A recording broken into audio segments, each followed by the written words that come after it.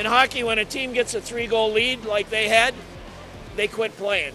So the only reason we look good in the third is they had a 3 nothing lead and they sat on it a little bit and they weren't quite as good a team as they were the first two periods and that's just the way hockey works. If you get a lead, you don't think you're letting up but you do. So yeah, I like that our team hung in there and we got some good chances in the third, but you know, if you if you start building your game around, you know, well, we look good in the third, then you're not going to win very many games. I mean, you got to look good in the first and second. Those periods are way more important than the third. So, you know, we weren't as good a team tonight as we've been the last three.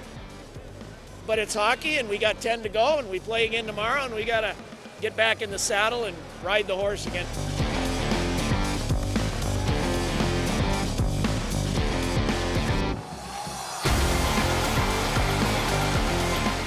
Got 10 games left, you know, and we're, we're been hovering around seven or eight in the standings, and it, it, you know, it'd be nice to climb to six if we can. I don't know if we can. There's not a lot of games left.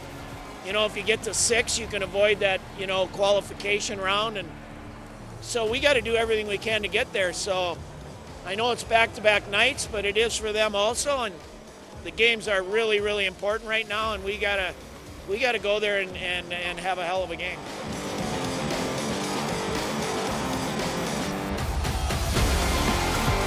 Igen, hát ez nagyon más meccs lesz, ők sokkal passzívabbak, és nyilván ők utolsók, szóval teljesen más színvonalat képviselnek, de egyértelműen utóbbi időben ők is elég sok meccset nyertek, kemény meccs lesz, és oda kell tenni magunkat, és valahogy megszerezni ezt a három pontot, ami nagyon szükségünk van.